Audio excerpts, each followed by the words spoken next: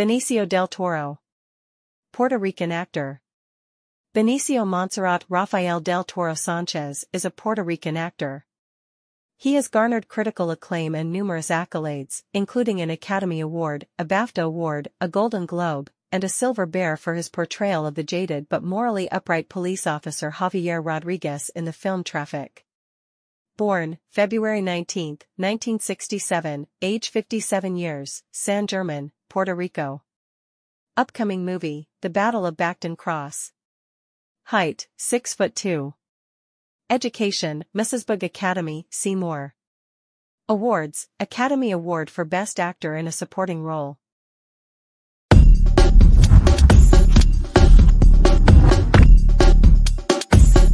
Benicio del Toro emerged in the mid-1990s as one of the most watchable and charismatic character actors to come along in years.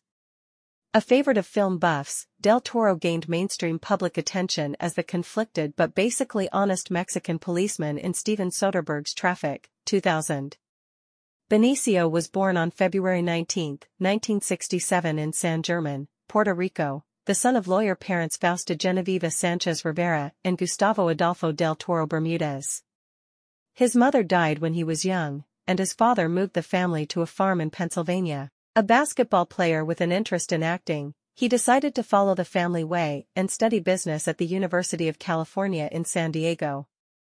A class in acting resulted in his being bitten by the acting bug, and he subsequently dropped out and began studying with legendary acting teacher Stella Adler in Los Angeles and at the Circle in the Square Acting School in New York City. Telling his parents that he was taking courses in business, Del Toro hid his new studies from his family for a little while. During the late 1980s, he made several television appearances, most notably in an episode of Miami Vice, 1984, and in the NBC miniseries Drug Wars, The Camarena Story, 1990. Del Toro's big-screen career got off to a slower start, however his first role was Duke the Dog-Faced Boy in Big Top Pee-wee, 1988. However, things looked better when he landed the role of Dario, the vicious henchman in the James Bond film License to Kill, 1989. Surprising his co-stars at age 21, Del Toro was the youngest actor ever to portray a Bond villain. However, the potential break was spoiled as the picture turned out to be one of the most disappointing Bond films ever. This was lost amid bigger summer competition. Benicio gave creditable performances in many overlooked films for the next several years, such as The Indian Runner, 1991, Christopher Columbus, The Discovery, 1992, and Money for Nothing, 1993. His roles in Fearless, 1993, and China Moon, 1994, gained him more critical notices, and 1995 proved to be the first year of Benicio as he gave a memorable performance in Swimming with Sharks, 1994, before taking critics and film buffs by storm as the mumbling, mysterious gangster in The Usual Suspects, 1995, directed by Bryan Singer. Del Toro won an Independent Spirit Award for Best Supporting Actor for the role in the Oscar-winning film. Staying true to his independent roots, he next gave a charismatic turn as cold-blooded gangster Gaspar Spoglia in The Funeral, 1996, directed by Abel Ferrara. He also appeared as Benny Dalmau in Basquiat, 1996, directed by artist friend Julian Schnabel. That year also marked his first truly commercial film, as he played cocky Spanish baseball star Juan Primo in The Fan, 1996, which starred Robert De Niro. Del Toro took his first leading man role in Excess Baggage, 1997, starring and produced by Alicia Silverstone. Handpicked by Silverstone, Del Toro's performance was pretty much the only thing critics praised about the film, and showed the level of consciousness he was beginning to have in the minds of film fans. He took a leading role with his good friend Johnny Depp in Fear and Loathing in Las Vegas, 1998, co-written and directed by the legendary Terry Gilliam. Gaining 40 pounds for the role of Dr. Gonzo, the drug-addicted lawyer to sportswriter Raoul Duke, Benicio immersed himself totally in the role, using his method acting training so far as to burn himself with cigarettes for a scene, this was a trying time for Del Toro. The harsh critical reviews proved tough on him, as he felt he had given his all for the role and been dismissed. Many saw the crazed, psychotic performance as a confirmation of the rumors and overall weirdness that people seemed to place on Del Toro. Taking a short break after the ordeal, 2000 proved to be the second year of Benicio. He first appeared in The Way of the Gun, 2000, directed by friend and writer Christopher McQuarrie. Then he went to work for actors-director Steven Soderbergh in Traffic, 2000. A complex and graphic film, this nonetheless became a widespread success and Oscar winner. His role as conflicted Mexican policeman Javier Rodriguez functions as the movie's real heart amid an all-star ensemble cast, and many praised this as the year's best performance, a sentiment validated by a Screen Actors Guild Award for Best Actor. He also gave a notable performance in Snatch, 2000, directed by Guy Ritchie, which was released several weeks later, and The Pledge, 2001, directed by Sean Penn. Possessing sleepy good looks reminiscent of James Dean or Marlon Brando, Del Toro has often jokingly been referred to as the Spanish Brad Pitt. With his newfound celebrity, Del Toro has become a sort of heartthrob, being voted one of People magazine's 50 most beautiful people as well as most eligible bachelors. A favorite of film fans for years for his diverse and cool guy gangster roles, he has become a mainstream favorite, respected for his acting skills and choices. So far very careful in his projects and who he works with, Del Toro can boast an impressive resume of films alongside some of the most influential and talented people in the film business. Family. Children. Delilah Genoveva Stewart Del Toro. Parents. Fausta Genoveva Sanchez Rivera. Gustavo Adolfo Del Toro Bermudez. Relatives. Gustavo Del Toro, sibling. Trademarks. Deep raspy voice slurred mumbling voice, and odd mannerisms. Frequently portrays dark, tragic characters. Frequently plays moral characters in harsh environments. Dark circles under his eyes. Trivia.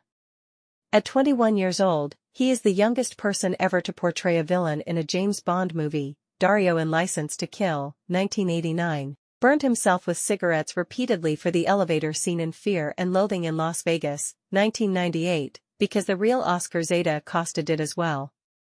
The shots of the burn were deleted. He badly injured his wrist during a stunt fight during the filming of William Friedkin's The Hunted, 2003. He fell on his wrist as he dove for a knife and actor Tommy Lee Jones fell on top of him.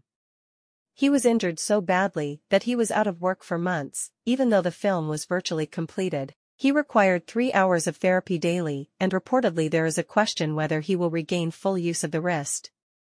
Benicio and longtime friend Josh Brolin were once told by then Miramax Films executive Meryl Poster that they were the worst auditioners she had ever witnessed. Is the third Puerto Rican actor to receive an Academy Award. The other two were Rita Moreno, West Side Story, 1961, and Jose Ferrer, Cyrano de Bergerac, 1950 is one of five Oscar winners for Best Supporting Actor in Traffic, 2000, to play a character that spoke mostly in a foreign language. Most of his dialogue was in Spanish.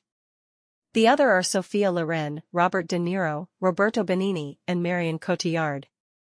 Had a cameo as a background character in Madonna's music video La Isla Bonita, 1987. Became a father for the first time at age 44 when Kimberly Stewart gave birth to his daughter Delilah Genevieve Stewart Del Toro on August 21, 2011. Good friends with Johnny Depp. They worked together in Fear and Loathing in Las Vegas, 1998, reportedly turned down the role of Frida Kahlo's husband Diego Rivera in Frida, 2002, because of the weight gain that would be required, despite that earlier, for Fear and Loathing in Las Vegas, 1998, he had gained 40 pounds for his character. His family urged him to become a lawyer because they felt there was no future in acting. His mother, Fausta Sanchez del Toro, died of hepatitis when he was age 9. Passionate about oil painting, his father owned the property across the street from his childhood home and turned it into a full-size basketball court so he and his brother Gustavo could practice and play with their friends. The property has since been built into a condominium. Is one of five Academy Award-winning actors to play a James Bond villain. The other four are Christopher Walken, Javier Bardem, Christoph Waltz, and Rami Malek. Benicio is the only one not to play a main villain and to play a villain before winning his Oscar. Attended and graduated from Mercersburg Academy in Mercersburg, Pennsylvania, 1985. He was a basketball star and artist there, but not an actor. He was sent to boarding school in Pennsylvania when he was age 13. Because of his pay-or-play deal, he was paid $5 million for American Gangster, 2007.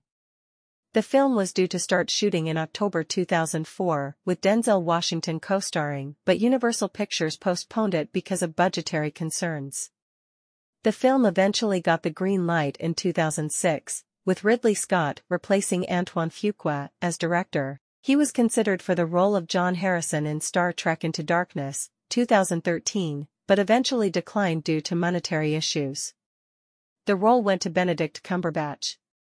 Del Toro means of the bull in Spanish.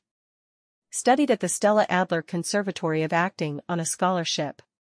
Has appeared with Josh Brolin in five films, Guardians of the Galaxy, 2014, Inherent Vice, 2014, Sicario, 2015, Avengers, Infinity War, 2018, and Sicario, Day of the Soldado, 2018. Attended the University of California, San Diego, UCSD, but did not graduate. Before moving to Pennsylvania, he was a student at Academia del Perpetuo Socorro in Miramar, Puerto Rico. Has one older brother, Gustavo del Toro, who is a physician in the United States. Received an honorary degree from the Inter-American University of Puerto Rico for his impact on the cinema enterprise, during the celebration of the university's centennial. Is a huge fan of the Fulham Football Club English Premier League Soccer Club. Fellow fans include Elizabeth Hurley, Lily Allen, Pierce Brosnan, Hugh Grant, Hugh Laurie, Daniel Radcliffe, Andrew Johnston, and the late Michael Jackson. Had a long-term relationship with Chiara Mastroianni, 1998 to 2001. He was the frontrunner to play Darth Maul in Star Wars, Episode 1, The Phantom Menace, 1999, which he turned down after the screenplay was rewritten and the role was considerably reduced. The role went to Ray Park. He was considered for the lead role of Eddie Cagle in Angel on My Shoulder, 2005, a role that was played by Paul Muni in Angel on My Shoulder, 1946. Producers not only wanted him for his amazing talent, but also for his close resemblance to Muni. Quotes. Before I was ever in high school, I had dark circles under my eyes. The rumor was I was a junkie. I have dark circles under my eyes, deal with it. My career went into the hole after Fear and Loathing in Las Vegas, 1998. People might have seen what they saw on screen and subconsciously, people in the business might have taken what they saw literally. I think people thought, he got fat. He got weird. His mumbling increased tenfold. I was trying to do an interpretation of a masterpiece of a book, and that's what the character was an animal. I like anything that's three-dimensional, anything I can believe in even if it's fantastic, surreal or from another planet. I like to keep growing. I haven't gotten anywhere, as far as I'm concerned. I'd like to do completely different roles a romantic lead, for example. I'd like to be dressed up in a suit and get the girl at the end of the movie. I see the usual suspects, 1995, as the time where I was, quote-unquote, discovered. It took me six, seven years to get to that place. And it was not easy. You're fighting with people who doubt you and your choice of career. There are a lot of doubts, and you have to stay focused with what you want. I never put a time limit on me being successful or not. I just cared about the work as an actor. But it wasn't easy, because there were a lot of ups and downs. I don't know if you know much about baseball, but baseball is the game of failure. You deal with failure, strike, strike, strike all the time. Acting is like that. You have to have a very thick skin in a way your hair is too dark, you're too ugly for the part, your audition wasn't good.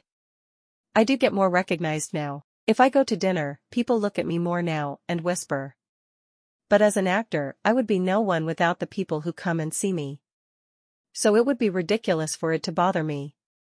It just bothers me when I'm intoxicated. My goal as an actor has always been to reach a level where I can find a lot of interesting work, and I think I'm at that point now. The Oscar has given me a lot of recognition, but I think Traffic, 2000, alone would have done a lot for me. It's the kind of role you die for, because a lot of people are going to focus on your work.